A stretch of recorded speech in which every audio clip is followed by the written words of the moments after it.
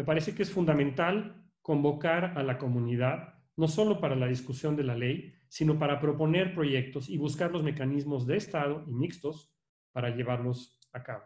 La UNAM ha hecho propuestas de que debería de contemplar la ley de manera pública en distintos foros. No se ha sido eh, convocado, digamos, a sesiones de trabajo directas. No lo podremos hacer si no articulamos a los actores del Sistema Nacional de CTI de Innovación en torno a problemas específicos y si no adoptamos un enfoque transversal de la política de CTI. Que se realice en un contexto de parlamento abierto que haya transparencia en la discusión de esta ley de ciencia, que haya acceso a la información eh, con la participación de la comunidad científica de una manera eh, incluyente y plural. El Poder Legislativo, como decía el doctor William Lee, asuma el liderazgo en la confección y la redacción de una propuesta de ley